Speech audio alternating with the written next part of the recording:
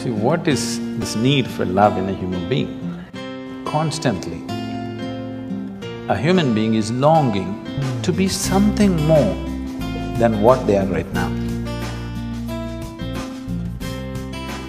The thing is, you want to include something which is not a part of you as yourself, that is the whole effort.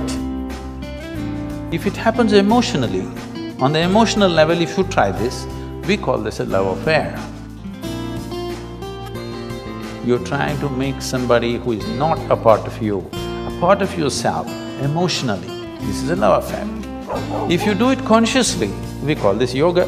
Yoga means union. Love is not a relationship. Love is a certain sweetness of your emotion. Whether you look at a tree, or a dog, or a man, or a woman, or a child, or just at the sky, why can't you look at it lovingly? Because it's not about loving the sky, it's about the sweetness of your emotion.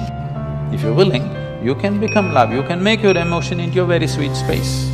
Love is not something that you do, it is something that you can become.